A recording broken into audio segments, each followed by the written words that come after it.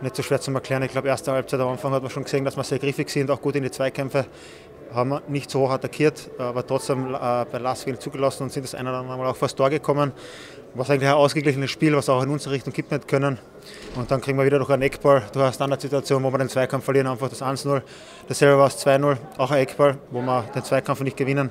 Und da schenken wir halt die Spiele her. Äh, ich glaube nicht, dass, dass Heute wäre auch wieder einiges mehr drin gewesen. Natürlich ähm, hat uns gefehlt, dass wir konkret nach vorn in die Torchancen uns herausspielen.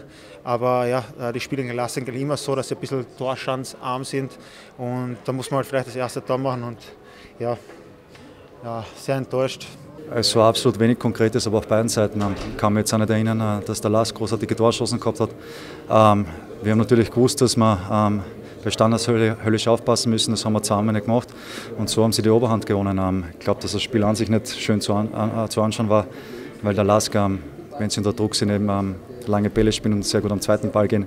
Wir wollten auch die Ballverluste minimieren, weil sie im Umschalten sehr gut sind. Und von dem her war das Spiel einfach nicht schön anzuschauen. Und wie gesagt, ich glaube, wir haben uns weitestgehend neutralisiert. Und ähm, eben durch die Standardsituationen, die wir einfach schlecht verteidigt haben, dann da in die Scheiße geritten. Äh, sobald es in der Meisterschaft um was geht,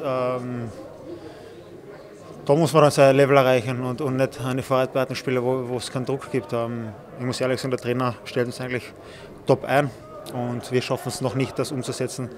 Aber ja, die Saison ist gerade erst ähm, am Anfang, oder sagen wir so, nicht umzusetzen, noch nicht über das ganze Spiel alles umzusetzen.